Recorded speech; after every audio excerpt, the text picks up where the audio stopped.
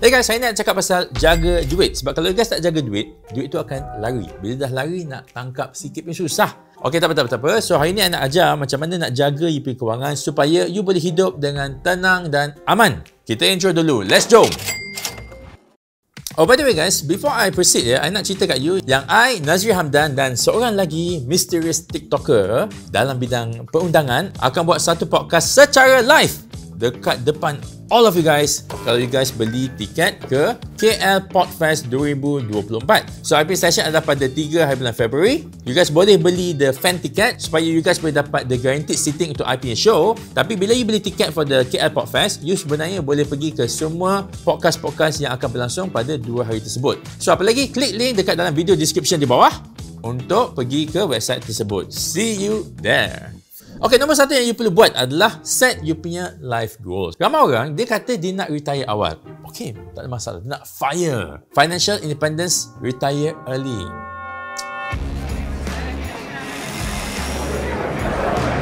Financial independence, retire early. How much did you wind up saving? Today would be about 1.1 million or a little bit less. That was what we decided was enough to live on forever I had this concept that saving as much as we could as early as we could would allow compound interest more time to do the work. But it's not necessarily about not working, but it's the freedom that comes with not having to work. Kadang-kadang cakap je. Dia kata dia nak benda tu tapi I tak nampak cara dia buat tu. Memang kau nak retire late pun tak boleh lah. so maknanya goals yang you kena ada tu, you, you tak boleh cakap saja. You kena ada action plan. Okay, so kalau normally orang kata retirement age adalah pada umur 50, 55 ataupun 60. Ha, depending on you kerja dekat sektor mana lah kan. And then you kata, saya nak retire at the age of 40. Umur you sekarang 25. Okay, not bad. So, you kena tahu, you cuma ada 15 tahun sajalah untuk kumpul-kumpul duit. Dan duit yang you kumpul pada umur 40 tahun tu lah akan dijadikan endowment untuk you survive. So, you live off that money je lah. Sama ada you ambil dividend ataupun you ambil dividend dan capital at the same time.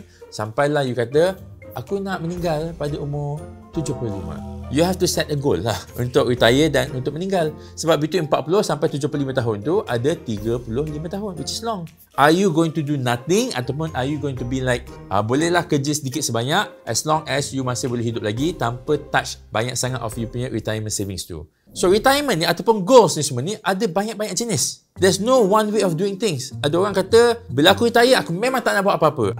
I'm retired. Ada orang kata, bila aku dah retire, bolehlah kerja sikit-sikit supaya ada supplemental income.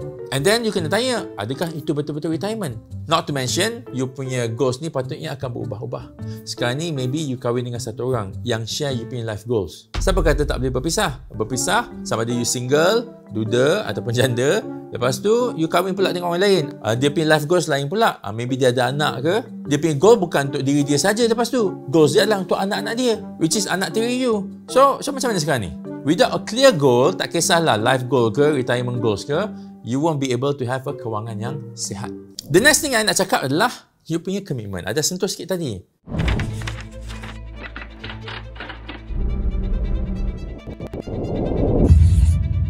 all of you guys ni kena faham you are battling against a lot of parties kat luar sana daripada yang legit tapi you know jahat lah contohnya macam marketing lah and of course ada yang scam now if you go to class-class marketing ya memang diorang punya tujuan untuk hidup ni adalah untuk encourage you to buy something, to subscribe to something. Pay them money and then they give you a product tapi dia akan ada margin lah, the profit yang dia akan dapat. In general lah, in general, itulah cara yang simple untuk put it.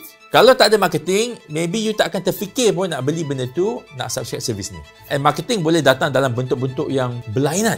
Ada yang in your face, keluar dekat surat khabar ke, keluar dekat majalah ke, keluar dekat iklan TV ke. Ada yang uh, dia stealth sikit. Uh, contohnya influencers pergi makan kat kedai makan ke, dia pakai produk tu ke, dia tak cakap. It's marketing. Tapi the fact that dia tengah makan benda tu depan you, ataupun dia pakailah that device ke, that pakaian ke, it is a form of marketing. Now, I'm not saying that marketing is bad, tetapi I nak beritahu you you are alone fighting against all these people. And and kalau marketing to become so strong, it might even change your perception of your kemampuan.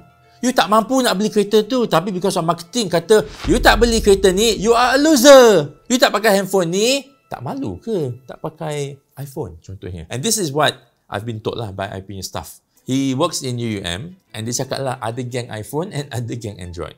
Uh, ramai budak-budak pakai iPhone sebenarnya. Tapi sanggup eh beli handphone-handphone yang beribu-ribu harga dia. And kadang-kadang more expensive than handphone untuk orang yang bekerja. Ha, tengok macam I. I pakai Android je. For the longest time I pakai Android. Pernah sekali I pakai iPhone. I pakai tak sampai setahun. I jual balik. so bila you termakan dengan kata-kata marketing ni, uh, you akan buat silap. So untuk elak benda ni berlaku, you kena betul-betul faham you punya kemampuan. You mampu tak untuk beli benda tu? Ataupun you perlu tak beli benda tu? In my opinion tak perlu pun. For me as a content creator, pakai iPhone ataupun Samsung uh, Galaxy S23 Ultra 512GB ni tak ada masalah lah sebab I kena buat content. Memang I pakai content untuk buat live. Kadang-kadang I pergi sana sini, I ambil video, I ambil foto and I make money out of that. So this is a business tool. But for most people, just untuk seronok-seronok sahaja. Just untuk ambil gambar, letak kat Instagram. Tak salah untuk enjoy life. Tetapi not at the expense of you punya finances. Not to mention, once you dah pakai iPhone, susah nak keluar balik. They make sure that they grab you by the balls that kalau you nak keluar pergi Android, takkanlah. So, you akan continuously beli dia punya produk. So, bila you dah tak beli benda-benda semua tu, you supposed to have money. Ataupun terbaliklah, sepatutnya you menabung dulu, you save your duit dulu supaya you akan kata, eh aku tak ada duit nak beli. Sebab you pakai this budget yang I selalu sebut lah. 50, 30, 20. Now, adalah some people they criticize. Eh, budget ni tak sesuai untuk orang yang baru start kerja. Okay, sebenarnya dia bukan tak sesuai. And I always say this to a lot of people. 50 dan 30 tu, 50 untuk komitmen hidup dan 30 untuk you punya leisure, eh, you punya keseronokan hidup tu. Macam contohnya nak pergi wayang ke apa. Benda ni adalah fluid. I bagi contoh lah. Kalau you adalah seorang ibu bapa yang ada anak enam, it is very very unlikely for you to be able to do 50 dan 30 tu. Uh, so you punya komitmen hidup maybe 70% dapat DP income. So in that situation, you terpaksa kurangkan you punya leisure daripada 30% jadi 10%. Sama juga dengan budak-budak muda yang gajinya kecil, maybe 50% pun tak cukup untuk komitmen hidup. So you kenalah kurangkan you punya perbelanjaan kopi, you punya data internet. Tapi satu benda je yang I nak make sure that you memang kena ada, which is apa? You punya 20% tu, you punya savings. You nak kata, eh aku tak ada duit nak save. Memanglah, sebab you tak tolak siap-siap. So that's why benda ni you kena start waktu gaji you kecil. If you tak start sekarang, you nak tunggu bila gaji you besar, you will never start. Lepas tu pada time umur you 35 tahun, you wonder, mana aku punya duit? Kenapa aku tak ada savings? Next, anda cakap pasal jaga you punya credit score. You see, credit score ni macam health checkups. Every six months, you kena buka you punya Secrets online portal. You tengok, ada tak orang pinjam pakai nama you? Ha, sama lah macam you pergi doktor, nak tengok ada sakit mana-mana tak? Kalau ada, tolong betulkan. Bagi ubat. With UP Credit Score ni, dia jangan bila you nak beli rumah, nak beli kereta, nak ambil ESB financing lah contohnya. Waktu tu lah baru you check UP Secrets, ah, lepas tu tengok-tengok nombor satu, maybe ada orang pakai nama you untuk buat pinjaman, itu scam lah. Nombor dua, lah you tak tahu pun UP DSR, nak beli rumah, nak melabur ni bukannya macam beli sayur. Kalau sayur tu busuk ke, ada isu sikit lah eh, sebab you tak pandai pilih, it's not a big deal. Tapi when it comes to untuk beli rumah, beli kereta, melabur dalam ASB, menggunakan ASB financing, benda ni you kena plan ahead. Contohnya lah, you kata, okay fine, aku nak beli rumah lah, aku rasa rumah aku dah 27. Dah ada a few rumah yang aku nak beli.